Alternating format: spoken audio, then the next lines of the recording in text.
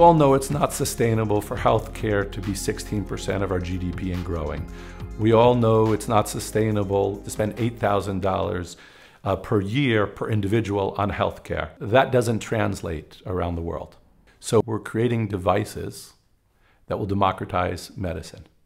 We're different than other companies that are working in healthcare, healthcare devices, or healthcare software in, a critical way. You have a huge number uh, of companies doing software uh, but they don't have anything unique in terms of the information that they're feeding that software.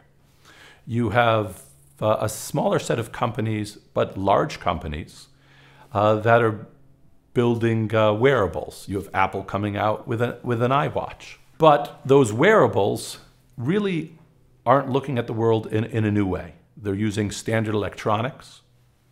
And so what we do we make a sensor that can see something that no one else can see. What we're doing is adding, if you will, senses to electronics. So a cell phone can see. A microphone allows electronics to hear. We're allowing electronics to see in new ways.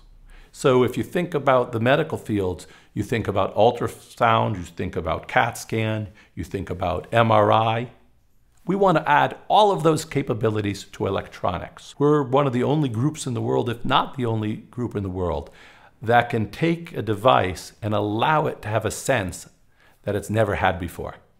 Our team showed that with Ion Torrent when we were the only team in the world that was able to make a chip that can see chemistry. Now we're making chips that can see lots of different things. But what we learned from Ion Torrent and what we learned from 454 while it was great to have a first device, while it was great to be able to do something that no one could do before, we wanted to do more. We wanted to be able to accumulate the knowledge from separate experiments. We're taking advantage of the fact that in 2014, you can have a cloud that has all the proper regulatory approvals to put medical information in it. So now we have a device and a place to store information, not on one patient, but tens of thousands of patients, hundreds of thousands of patients, or even millions of patients. So, first device, the ability to accumulate that information. And now, for the first time, we have algorithms that can handle the information.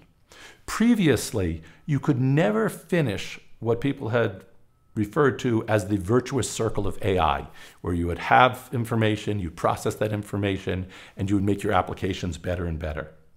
But if you've noticed what's happened in speech recognition, in translation, in image recognition, a new technology or a new methodology called deep learning has cracked all of those problems.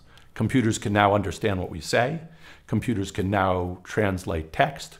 Computers can now search images. We're taking advantage of our experience and ability to make devices. We're taking advantage of the world putting a huge investment into clouds that are ready for healthcare. And we're taking advantage of being a first mover and having a new type of information and applying deep learning to it. It's an amazing uh, moment. It, it really is a renaissance.